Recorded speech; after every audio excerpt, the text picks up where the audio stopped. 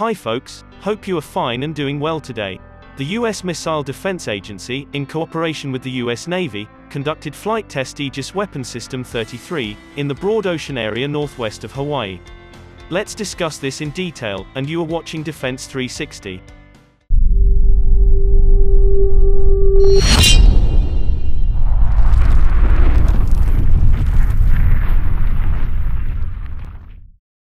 The objective of FTM-33 was to intercept a raid of two short-range ballistic missile targets, with four Standard Missile 6 Dual-2 missiles. Based on initial observations, one target was successfully intercepted. At this time, we cannot confirm the second target was destroyed. FTM-33 was the most complex mission executed by Missile Defense Agency, a raid of two test targets and two SM-6 Dual-2 salvos consisting of four missiles.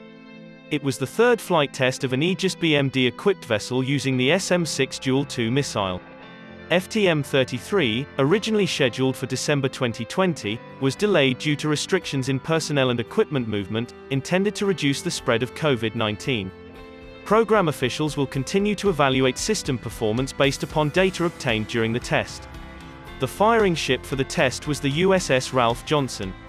The SM-6 Dual-2 missile is designed for use in the terminal phase of a short to medium-range ballistic missile trajectory.